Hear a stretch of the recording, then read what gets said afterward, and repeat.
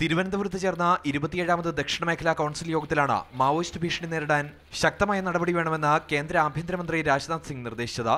കേരളത്തിൽ അടുത്തിടെ നടന്ന സംഭവങ്ങളുടെ പശ്ചാത്തലത്തിൽ ഭരണ പോലീസ് സംവിധാനങ്ങൾ കൂടുതൽ ശക്തിപ്പെടുത്തണം. അന്തർ സംസ്ഥാന അതിർത്തികളിൽ പരിശോധന കർശനമാക്കണമെന്നും അദ്ദേഹം നിർദ്ദേശിച്ചു. മാവോയിസ്റ്റ് ഭീഷണി നേരിടാൻ ഒരു പ്രത്യേക ബറ്റാലിയനും ഫണ്ടും അനുവദിക്കണമെന്ന് യോഗത്തിൽ കേരളം ആവശ്യപ്പെട്ടു. ബറ്റാലിയൻ ചോദിച്ചിട്ടുണ്ട് അത് എഗ്രി ചെയ്തിട്ടില്ല.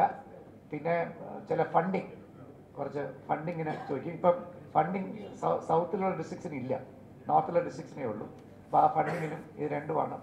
കേരളത്തിന് പുറമെ തമിഴ്നാട് പുതുച്ചേരി ആന്ധ്ര കർണാടക തെലങ്കാന എന്നിവിടങ്ങളിൽ നിന്നുള്ള മന്ത്രിമാരാണ് യോഗത്തിൽ പങ്കെടുത്തത്. മത്സ്യത്തൊഴിലാളികൾക്കുള്ള ബയോമെട്രിക് കാർഡുകളുടെ വിതരണം വേഗത്തിലാക്കുക ബംഗളൂരു ചെന്നൈ കേന്ദ്രീകരിച്ചുള്ള നിർദ്ദിഷ്ട വ്യാവസായിക ഇടനാഴി കൊച്ചി വരെ വ്യാപിപ്പിക്കുക കാസർഗോഡ് വരെ നിശ്ചയിച്ചിട്ടുള്ള അതിവേഗ റെയിൽ ഇടനാഴി മംഗലാപുരം ഉടുപ്പി വരെ നീട്ടുക എന്നീ ആവശ്യങ്ങളും യോഗത്തിൽ ചർച്ചയായി. മാതൃഭൂമി ന്യൂസ് തിരുവനന്തപുരം.